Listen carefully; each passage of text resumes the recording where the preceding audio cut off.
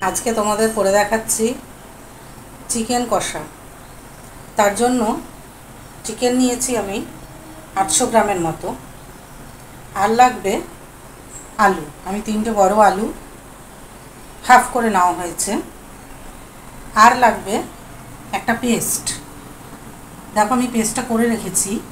আমি এর মধ্যে নিয়েছি তিনটে বড় পেঁয়াজ আর আদা হাফ মানে করে আঙ্গুলের মতন, লম্বা, ওই অতটা আদা নিয়েছি। আর পনেরো কোয়া মতো রসুন নিয়েছি, আর টমেটো নিয়েছি ছোট দুটো, আর দুটো কাঁচা লঙ্কা। এই সব কিছু মিলিয়ে আমি একটা পেস্ট তৈরি করে রেখেছি। আর লাগবে কাশ্মীরি লঙ্কার গুঁড়ো, গরম মশলা, হলুদ, নুন, মিষ্টি আর একটু সাদা জিরে ফোড়নের জন্য আর দুটো কাঁচা লঙ্কা শেষে সাজিয়ে দেওয়ার জন্য। তো আর লাগবে সর্ষের তেল। এই কয়েকটা উপকরণ দিয়েই আমাদের হয়ে যাবে আজকে দারুণ সুস্বাদু, ভীষণ টেস্টি একটা রেসিপি চিকেন কষা। তাহলে চলো শুরু করছি। দেখো, কড়াইতে তেল দিয়ে দিয়েছি। চিকেন কষাতে আমি একটু বেশি তেল দেব। কারণ একটু ব্যাপারটা তেলেই হবে। আর জল দেবো, অল্প দেব। কিন্তু তেলেই যেহেতু হবে, আমি তেলটা একটু বেশি দিয়েছি। আমি প্রথমে আলুগুলোকে একটু ভেজে নেব।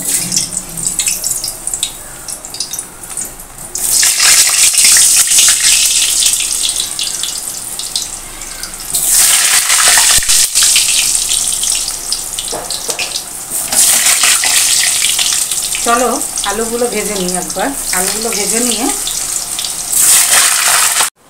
দেখো, আমি আলুগুলো ভেজে রেখেছি লালচে করে। এবার আমি ফোড়নের জন্য দিয়ে দেবো একটু সাদা জিরে। সাদা জিরেটা জাস্ট কয়েক সেকেন্ড একটু নাড়াচাড়া করব। একটু নাড়াচাড়া করে। যেই একটু ভাজা হয়ে যাবে, গন্ধ বেরোবে জিরে। তখনই আমি দিয়ে দেবো পেঁয়াজ, আদা, রসুন, টমেটো লঙ্কার যে পেস্টটা, সেটা আমি এখন দিয়ে দেবো।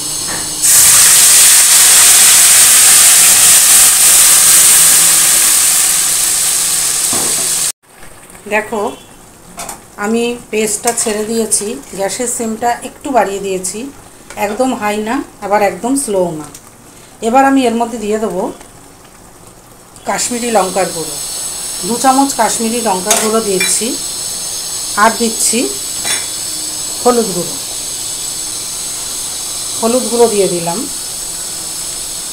দেড় চামচের মতো। আর দিয়ে দেবো নুন। আমি এখন অল্প করে একটু নুন দেব। যখন পরে লাগবে, আবার আমি দেব। কষানোর সময় একটু চিনি। কালারটা তাহলে ভালো আসবে। আমি এবার একটু এটা কষাবো। তার সাথে দিয়ে দেবো। দেখো, আমি তার সাথে দিয়ে দিলাম মাংসগুলো ধুয়ে রাখা। এইবার আর একটা দিয়েছিলাম তেজপাতা। যখন আমি মশলাগুলো দিলাম, তখন আমি তেজপাতাটা দিয়ে দিয়েছি। এবার আমি একটা এটা মিডিয়াম ফ্লেমে কষতে দেব। আর তার জন্য আমি একটু এটাকে ঢাকা দিয়ে দিচ্ছি। অন্তত পাঁচ মিনিট মতন আমি এটাকে মিডিয়াম ফ্লেমে একটু কষাবো। ঠিক আছে? দেখো প্রায় পাঁচ মিনিট মতন আমি ঢেকে মিডিয়াম ফ্লেমে রান্না করছি। হ্যাঁ এবার মাংসটা ধরো এইটি পারসেন্টের মতন হয়েছে। এবার আমি ভেজে রাখা আলুগুলোকে এর মধ্যে দিয়ে দেবো। ভেজে রাখা আলুগুলোকে দিয়ে দিলাম আর মিডিয়াম ফ্লেমেই রাখব। দেখো কত জল ছেড়ে দিয়েছে। অনেকটাই জল ছেড়ে দিয়েছে। এবার আবার এটাকে আমি ঢাকা চাপা দিয়ে আর একটু কষাবো। কারণ কষানো এখনও হয়নি। এখনও দেখো অনেক জল ছেড়েছে, আমি কিন্তু কোনো জল দিইনি এখনও দেখো, আমি আরও পাঁচ মিনিট কষিয়েছি। এখন কষানোর ফলে কি হয়েছে দেখো, এই দেখো সাইড দিয়ে কিন্তু তেল ছাড়তে শুরু করে দিয়েছে, তার মানে মশলাটা কিন্তু একদম ঠিকঠাক কষানো হয়েছে। কালারটা দেখো। শুধু যে কাশ্মীরি গুঁড়ো লঙ্কা তা নয়, তোমরা যদি কষানোর সময় একটু চিনি দিয়ে দাও, চিনি দিয়ে যদি কষাও তাহলে কালারটা কিন্তু খুব সুন্দর আসে। এবার আমি এক গ্লাসের মতন জল দিয়ে দেবো। তোমরা যদি জল কম দিতে চাও, কম দিয়েও করতে পারো। আমি একটু এক গ্লাসের মতন জল দিয়ে দিলাম। এখানে কিন্তু গরম জল যদি দাও, আরও টেস্ট কিন্তু দ্বিগুণ বেড়ে যায়। আমার গরম জলটা করা হয়নি, খেয়াল ছিল না। যদি এর মধ্যে গরম জল দিতে পারো, তাহলে কিন্তু স্বাদ দ্বিগুণ হয়ে যাবে। এবার দেখো, আমি জল দিয়ে দিলাম। আমি এতক্ষণ মিডিয়াম আঁচে করছিলাম, কষাচ্ছিলাম।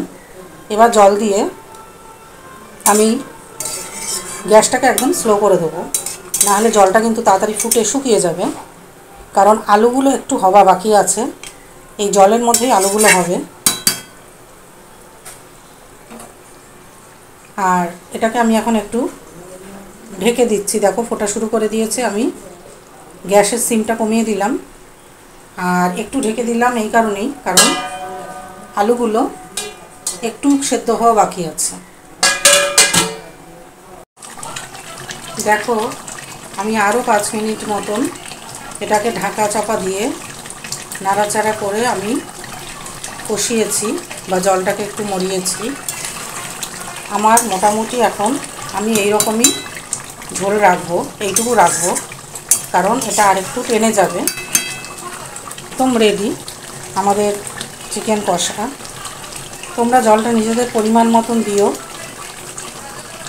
যদি কম রাখতে চাও, কম রাখবে। যদি একটু বেশি রাখতে চাও, বেশি রেখো। এইবার আমি এতে একটু দিয়ে দেবো গরম মশলার গুঁড়ো।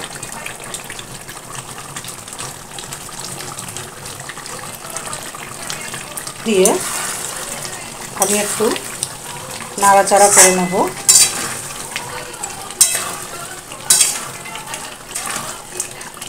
আমি একটু নাড়া আলু আমার একদম ঠিকঠাক সেদ্ধ হয়ে গেছে, গলেও যায়নি, আবার সেদ্ধও হয়ে গেছে। দেখো, আমার কষা অলমোস্ট রেডি গরম মশলাটা দিয়ে জাস্ট এক মিনিটের মতন একটু ফুটিয়ে নিলাম। দেখো ঝোলটাও কিন্তু অনেক টেনে গেছে।